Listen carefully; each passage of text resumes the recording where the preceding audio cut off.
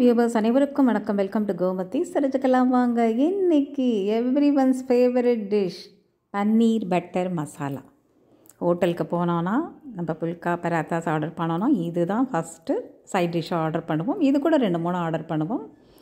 இது நம்ம வீட்டில் ரொம்ப ஈஸியாக ரொம்ப ஆரோக்கியமான முறையில் சூப்பராக பண்ணிடலாம் வாங்க. எப்படி பண்ணுறதுன்னு பார்க்கலாம். வாங்க வீடியோக்குள்ளே போவோம்.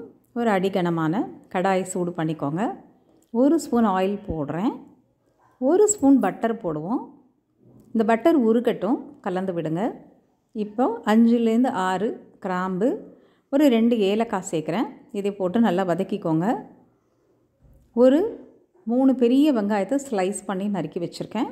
இதை போட்டு வதக்கிக்கணும். இது கூட ஒரு ஏழு பூண்டு பல் மலை பூண்டு சேர்க்குறேன்.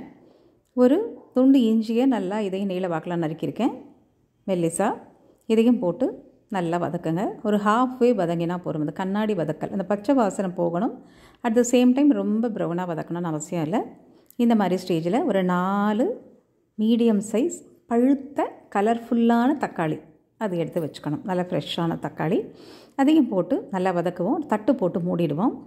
ஒரு த்ரீ டு ஃபைவ் மினிட்ஸ் அது வந்து குக் ஆகட்டும். மீடியம் ஃப்ளேம்லேயே பண்ணுங்கள் இப்போ பாருங்கள் கரெக்டாக க சரியான பதத்தில் இருக்குது இப்போ இது கூட முழு முழு முந்திரி பருப்பு ஒரு பதினஞ்சு சேர்க்குறேன். திக்னஸ்க்காக. ரொம்ப டேஸ்டியாகவும் இருக்கும் உடம்புக்கும் நல்லது. இப்போ அடுப்பு ஆஃப் பண்ணிடலாம் கம்ப்ளீட்டாக ஆறட்டும். ஒரு மிக்சி ஜாரில் போட்டுப்போம். போட்டுட்டு நல்ல ஃபைன் பேஸ்ட்டாக அரைச்சி கொண்டு வந்துடணும். பாருங்கள் இந்த மாதிரி. நல்ல ஃபைன் பேஸ்ட்டாக இருக்கணும். இதை அப்படியே ஓரமாக வச்சுடுவோம் கடைசியில் சேர்க்குறதுக்கு. இப்போது கடாயை சூடு பண்ணுவோம். ரெண்டு ஸ்பூன் ஆயில் போட்டுப்போம். மூணு டேபிள் ஸ்பூன் அளவுக்கு அன்சால்டட் பட்டர் சேர்க்குறோம். இந்த பட்டர் வந்து உருகட்டும். இப்போது ரெண்டு பெரிய வெங்காயத்தை நறுக்கி வச்சுருக்கேன். ரெண்டு பச்சை மிளகா. இது கூட ஒரே ஒரு பே லீஃப் மட்டும் சேர்த்துப்போம். இதையும் சேர்த்துட்டு நல்லா வதக்கி விடுங்க. நல்ல ப்ரௌனாக வதக்கணும். நல்லா கலர் சேஞ்ச் ஆகணும். நல்ல டார்க் ப்ரௌனாக சேஞ்ச் ஆகணும். நல்ல வாசனை வரும். இந்த வெண்ணெயில் வதங்கும் பொழுது. இப்போ இது கூட அரை ஸ்பூன் மஞ்சப்பொடி ஒரு ஸ்பூன் சில்லி பவுடர் ரெண்டு ஸ்பூன் கொரியண்டர் பவுடர் அரை ஸ்பூன் கரம் மசாலா. இதெல்லாம் சேர்த்து நல்லா அந்த எண்ணெயில் கலந்து விடுங்க. மீடியம் ஃப்ளேம்லேயே பண்ணுங்கள் ஹை ஃப்ளேமில் வைக்க வேண்டாம். கொஞ்சம் தண்ணி சேர்த்துப்போம். கமராமல் இருக்கும் அதுக்காக. நல்லா கலந்து விட்டுட்டு இப்போ நம்ம அரைச்சி வச்சுருக்கிற பேஸ்ட்டை கலந்துருவோம். போட்டுட்டு நல்லா கலந்து விடுங்க. ரொம்ப கெட்டியாக இருக்கும். அண்ட் கொதிக்கும் போது பளக் பளக்குன்னு தெரிக்கும். இப்போ என்ன பண்ணணும்னா இந்த கன்சிஸ்டன்சி அட்ஜஸ்ட் பண்ணுறதுக்கு அந்த மிக்சி ஜாரியை அலம்பி விட்டுக்கலாம். இல்லைன்னா தண்ணி வேணுங்கிற தண்ணியை சேர்த்துக்கணும். சேர்த்துட்டு நல்லா கலந்து விடுங்க. இப்போது இது கூட கல் உப்பு சேர்க்குறேன். இப்போ நல்லா கலந்து விட்டுட்டு ஒரு தட்டு போட்டு லிட்டு போட்டு மூடிடுங்க.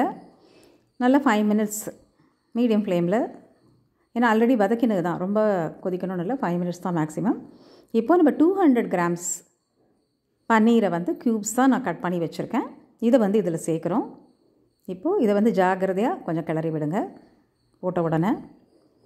இதையும் வந்து ஒரு three to five minutes cook பண்ண போகிறோம் மீடியம் ஃப்ளேமில் க்ளோஸ் பண்ணிவிடுங்க த்ரீ டு ஃபைவ் மினிட்ஸ் பண்ண குக் ஆனப்புறம் எடுத்துடுங்க. திறந்துட்டிங்கன்னா ரொம்ப சூப்பராக கரெக்டான கன்சிஸ்டன்சியில் நமக்கு பிடிச்ச எல்லோருக்கும் பிடிச்ச பன்னீர் பட்டர் மசாலா ரெடி ஆகிடுது இப்போ ஃபைனல் கார்னிஷிங் பண்ணிக்கலாம். க்ரீம் சேர்க்குறோம். இதுக்கு இது மெயின் நாலு டேபிள் ஸ்பூன் அளவுக்கு க்ரீம் சேர்க்குறேன். கை நிறைய நல்ல கொத்தமல்லி தழை அள்ளி தூவும் நல்லா கலந்து விடுங்க. கலந்து விட்டுட்டோன்னா அடுப்பு ஆஃப் பண்ணிடலாம். இப்போது நம்ம சர்விங் பவுலுக்கு ட்ரான்ஸ்ஃபர் பண்ணிவிடுவோம் ஸோ கிண்ணத்தில் மாற்றிட்டோன்னா இது best side dish for chapati puri parathas நம்ம இஷ்டம் போல். முதல் டைம் சேனல் பார்க்குறீங்கன்னா சப்ஸ்கிரைப் பண்ணுங்கள் சப்ஸ்கிரைப் பண்ணி எனக்கு சப்போர்ட் பண்ணுங்கள் ஸோ இதை வந்து சுட சுட சுட பரிமாற போகிறோம் ஃபைனலாக ஒரு two to three tablespoon நம்ம க்ரீம் சேர்த்துட்டு கொஞ்சம் கொத்தமல்லி தூ தொழையை தூவிட்டு வச்சுடுவோம். அவ்வளோதான் சப்பாத்தி பூரி பராத்தா இது கூட வேணால் சாப்பிட்லாம். உங்களுக்கு பிடிச்சிருக்கும்னு நினைக்கிறேன். பிடிச்சிருந்தால் லைக் பண்ணுங்கள் ஃப்ரெண்ட்ஸுக்கு ஷேர் பண்ணுங்கள் உணவே மருந்து health is wealth stay healthy viewers